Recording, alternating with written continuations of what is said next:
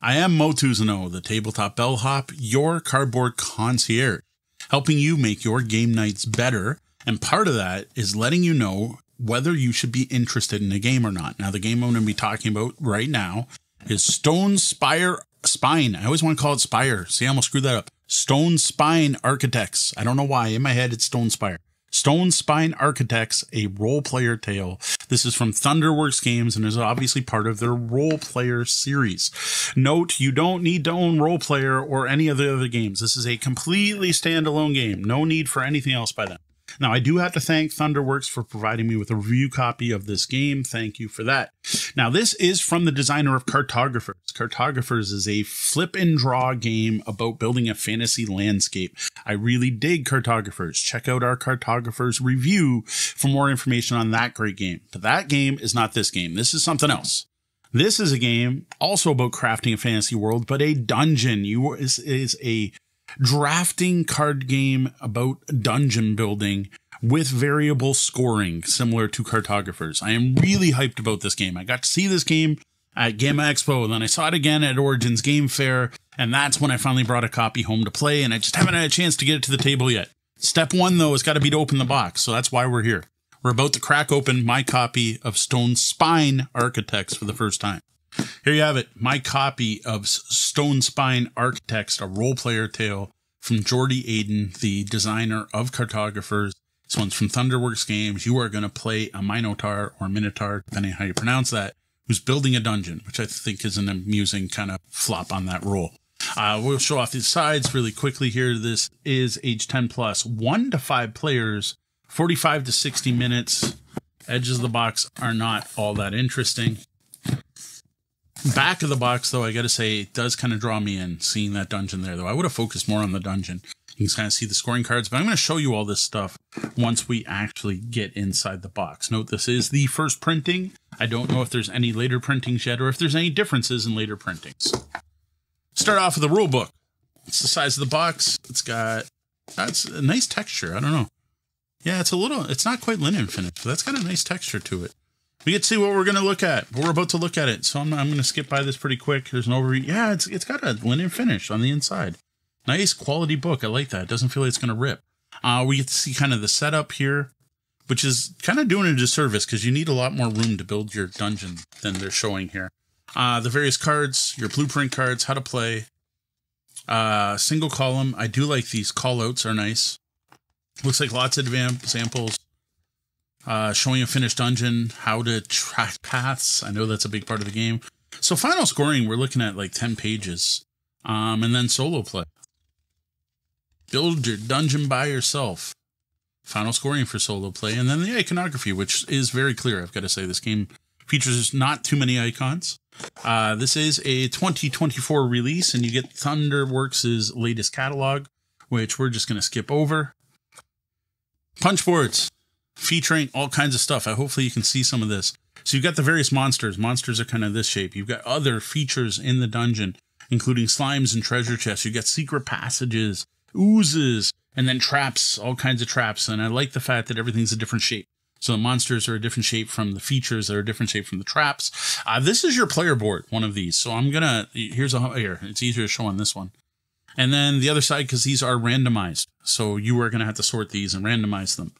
Uh, here are a bunch of player boards, and I'm gonna punch one just to show you because there's not a lot to it.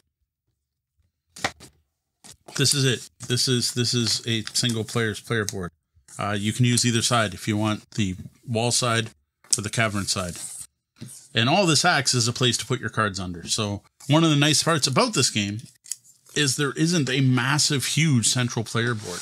Uh, victory point tokens that are other things you can find. Uh, Renown, sorry, they're called Renown in this game.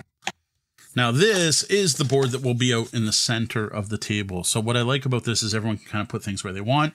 Uh, you're going to track your gold here. Priority is for turn order, and you're going to have a general goal card that applies to all players put there.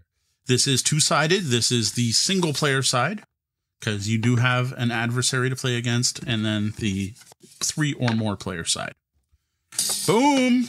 Box inserts, including resource tray. Thank you so much, Thunderworks. I love it. It says Stonespire Architects, and there's a place to put the tokens, and it even shows you what goes where. The round ones go here, the oval go here, and the square go here. Awesome. Greatly appreciate that. Even without that, look at places to put everything. Ooh, everything's silk screen. This has a very deluxe feel for a retail copy of a game. Tokens, tokens, tokens, tokens. Uh, silica pack, if you live anywhere humid, toss it underneath your box insert. Keep it with your game. Help prevent mold. If you don't, toss it out. Make sure the kids don't get it. All right, so we have tokens that are not only color coded, they have symbols on them to make them stare apart, stare apart, um, tell apart. You're going to use these to track your gold and your victory points, or not your priority, sorry, your gold and your priority. I am just going to toss these right where there's a spot for them here. Since there's a spot for them. place for everything and everything in its place. 5S at its best. Including, again, symbols to show you what goes where. Doors, doors, entries, exits. Again, silkscreen and all the player colors. Not sure exactly where these ones go, but only one side screen, but that's cool. You got your dungeon entrance and exits. They look like they go there. Scoring sheet. Always nice to have a scoring sheet, even though I usually use an app for that thing nowadays. Two sided. Always appreciated. Then we have cards. Lots and lots of cards because this is a card driven dungeon building.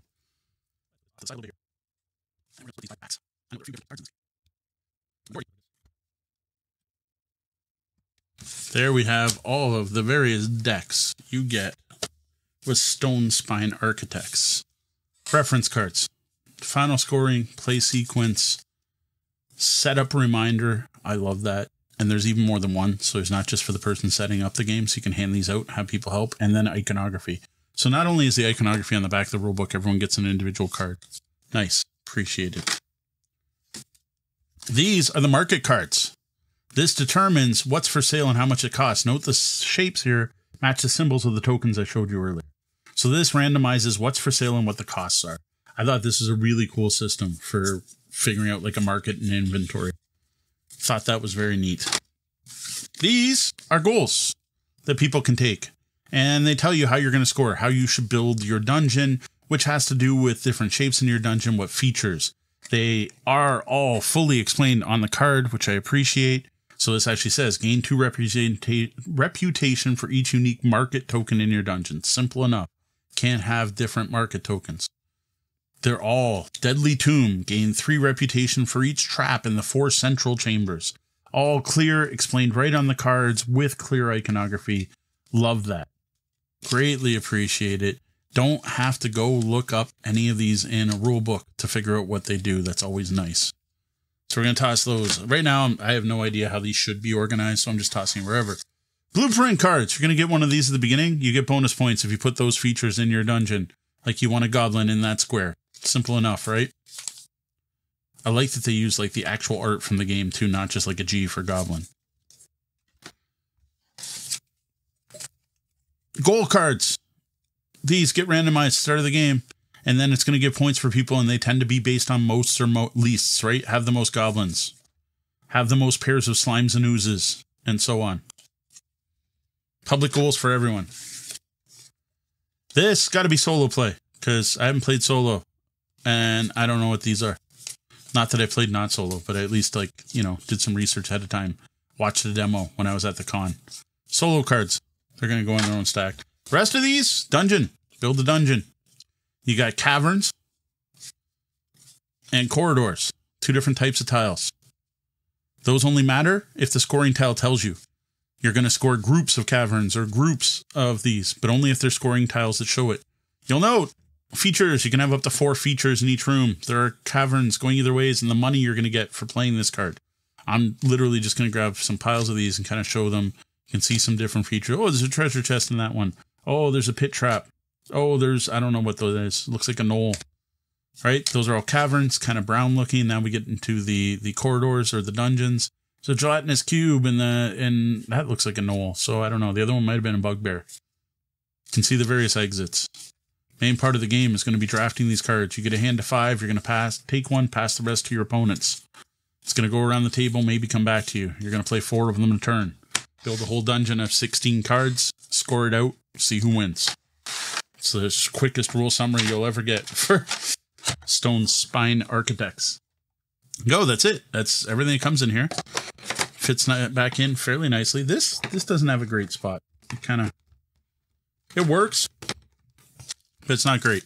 Um, I probably should put stuff back in the baggies, but I'm not going to bother right now. We're going to put the punch boards back on top, which is probably going to do bad things because I punched those out. But that's fine.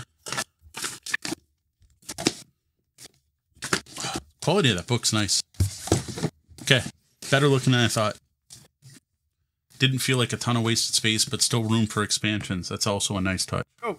What you get in the box Stone Spine Architects from Thunderworks Games, part of their Roll Player series of games, all of which I've enjoyed so far. Roll Player, the game that takes making a D&D style character and turns it into kind of a Euro game. I dig it. And Cartographer is a game about map making and so on. Well, this one, it's all about building dungeons.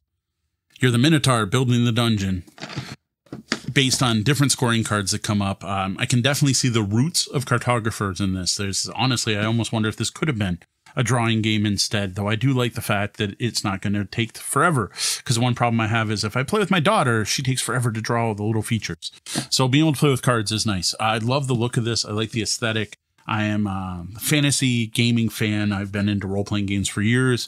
I'm also a fan of dungeon building games. Uh, there is one on the market from CGE that's extremely meaty and heavy. It's nice to have a lighter dungeon building game. That's something I'm looking forward to. Now, when I do sit down and play Stone Spine Architects, I will be sharing my thoughts on the Tabletop Bellhop Gaming Podcast, which you can find on your podcatcher of choice. You can also find it places like Pandora and Spotify. So give us a follow there. That would be awesome. Um, you can, I'll also be sharing my thoughts on uh, the blog at tabletopbellhop.com. Eventually, I'll probably do up a written review of this once I've got a few plays in and I've kind of deep dived it and figured out all the ins and outs. Uh, so head over to tabletopbellhop.com and watch for that. In the meantime, you can check out our other reviews. There's tons of them. Um, in the top right corner, there's a button you can click and look at every game we've ever reviewed. It's a lot of them. Uh, thank you for joining me. This is I'm I'm looking forward to this. Stone Spine looks great. Um, I was pleasantly surprised by everything in here. Everything looked good. Uh, the plastic inserts in this are really nice. I love the fact there's there's a resource tray. They're not resources, but I, I dig it. This one looks good. Looking forward to it. Thank you for joining me. Good day and game on.